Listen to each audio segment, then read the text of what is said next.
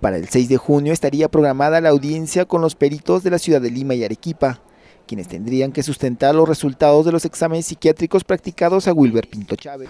Lo que se hace es solicitar una audiencia al juez para determinar el estado o no de inimputabilidad del imputado.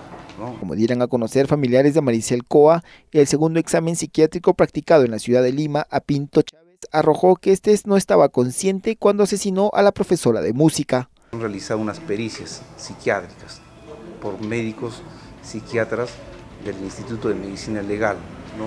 tanto de nivel local como también del, nivel central, en, el cual ciertamente ¿no?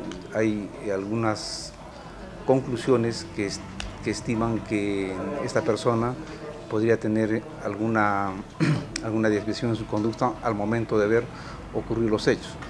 A decir del fiscal encargado del caso, será el resultado de la audiencia del 6 de junio donde se tome la decisión si se acusará penalmente o se seguirá un proceso de seguridad contra Pinto Chávez. Cumplido esto, este procedimiento, se adecua el proceso ya no a un proceso de seguridad, ¿no? saliéndonos del proceso común que venimos investigando ahora.